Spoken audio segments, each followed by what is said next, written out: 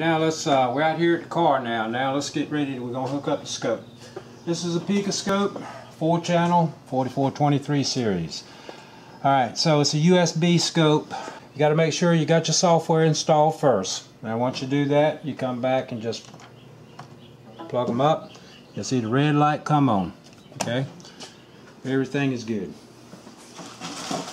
Now when you get your scope, you'll get your leads. This here is, like I said, it's four channel. You see you got color-coded leads. We got yellow, blue, green, and red. Now, the, these here cables are color-coded to the colors of the trace. Isn't that nice? So, the way these here colors will go out to match out to the color of the traces is blue, red, green, and yellow. So I'm going to hook up the first one here. You know, a lot of times you probably haven't seen, you know, you actually see the actual hookup of everything. So I'm going to show you one here, one lead. I'm going to show you all of them. Got a little BNC connector here. Taken, put them on, and then turn it. It doesn't say the colors. Hmm? It doesn't say the colors. No, no, it's just that I've done it so many times. I know, I know what colors uh, wires will go on to what the traces are like I said, blue, red, green, yellow. Okay. Now if you look right here on your first channel that you get, you'll notice that you got a ground connection. Now this ground connection is a permanent connection, you know, you can't take it out, so that way when you ground you, when you ground this lead here, and by the way, when you make all your connections for your ground here, you will be putting it on your battery negative. DC negative. You want to go right straight to the battery. That's the ideal place to hook it up at. Okay. I know a lot of times you can't do that because look at in this case, uh, the battery is actually under the back seat. And I don't know where the battery cable goes to, but what I'm going to do is I'm going to get over here on the good ground over there on that uh, alternator, uh, on that stud over there. Okay, here's a here's a clamp. We're going to use that to ground this here channel and it's just a matter of and by the way you get these in black and red. You know black is for negative red is for positive. So you can keep up with what you want. Boop.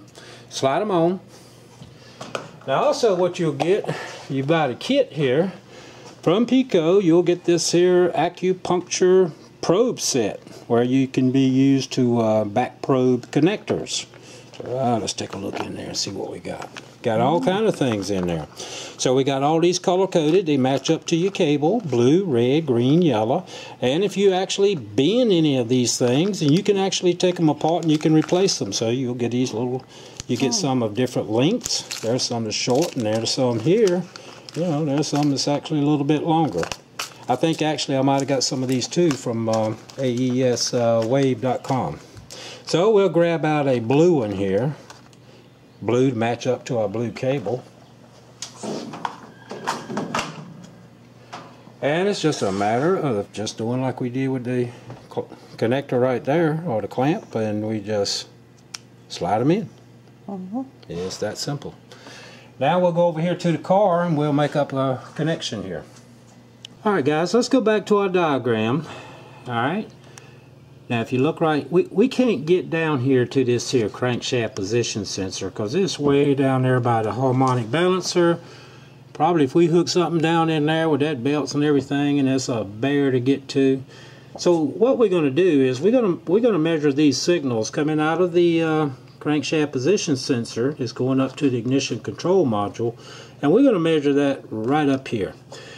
Now you see right here we got a connector by the way, do you see the little little kind of triangle there uh -huh. without the bottom on it? That's the female side of the connector. This is a G. The connector is marked with different letters. This is a G terminal. This is an H terminal. Here's a D terminal, and here's a C terminal. And I bet you've already figured out what the color coding on this means. So I'm going to let you see what I'm going to do with A. Now, looking at this diagram, and by the way, here is the here is the here's the three coils. There's one, there's one, there's one. The ignition module sits right down here. These three coils are sitting right on top of it. Okay. Now you remember we had the two the primary side, the two connections for that, they're located underneath the coil and they plug into the ignition module. So we cannot get access to the primary side. We can only get to the secondary side, which is right here.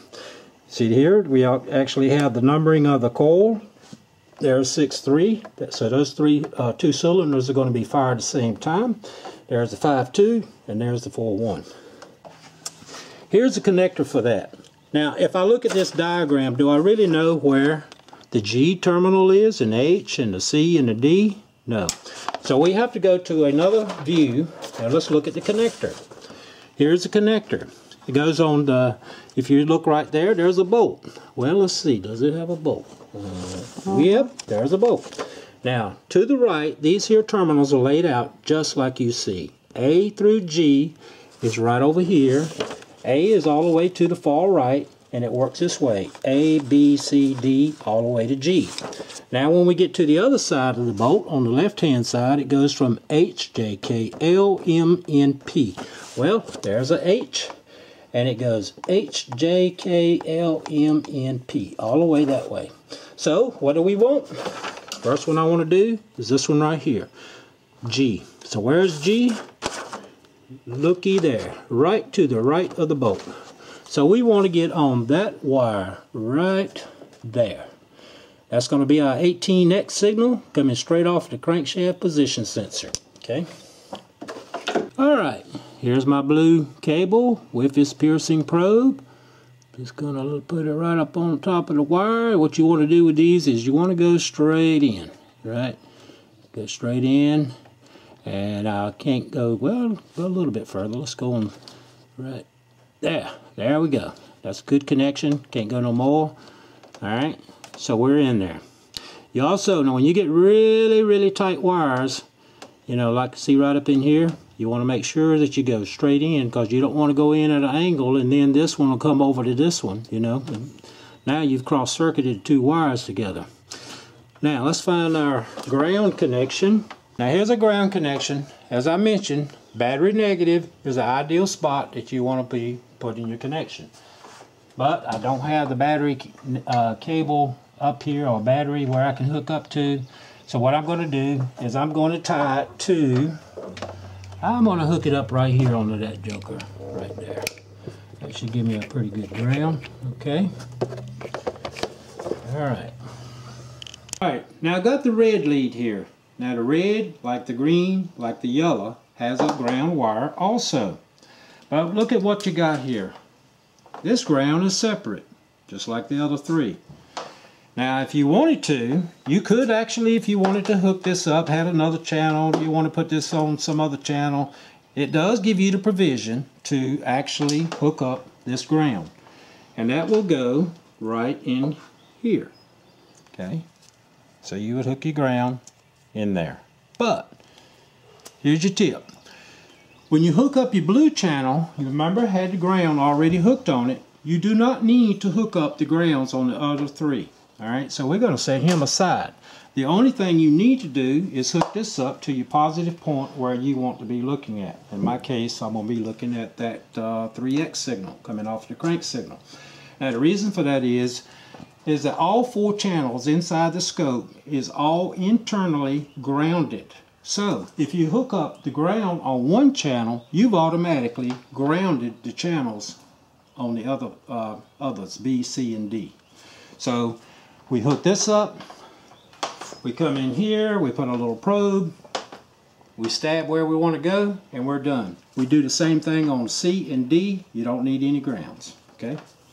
So I'm going to finish uh, hooking up the rest of these here connections and I'll show you my final connections and then after that we will get some waveforms here. Alright guys, as you can see, blue, red, green, yellow. Alright? Mm -hmm. Now these leads I believe they're three meter long, so they're about almost 10 feet there, so got plenty of length. Got them all down here wrapped. You can see they're coming on down. Now I'm going to just show you my connections. See how they all down in here? Signals that I pointed out that I was going to be looking at. And as you remember, we've got a ground over here. Remember, it's only it's only one ground over there for, and that will take care of grounding all four of these channels internally in the scope there. Okay. So let's crank it up and see if we got some signals here. Okay. All right, let's get ready to start up this Picoscope software. Now we're gonna start it up. You see there's an Auto Nerds uh, little screen there.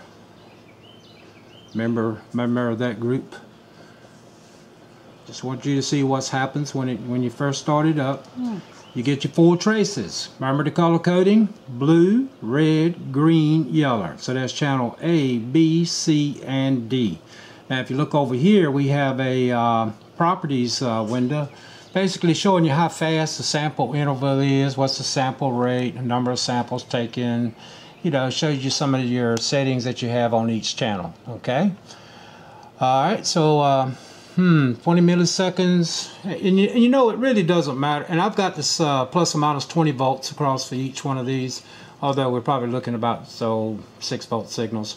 So it really doesn't matter as far as it's not critical about what your settings are. We just crank it up we'll see it, what our signals are, and then from there we can kind of make an adjustments on it. Okay guys, these are the four signals coming off of the points that we just picked out earlier that I described. Uh, I know it's hard to see the screen right here, so what I'm going to do is I'm going to uh, record the desktop here and put some annotations in it and talk about it a little bit. So uh, next shot, we're going to be looking at these waveforms and uh, analyzing them a little bit, talking about them.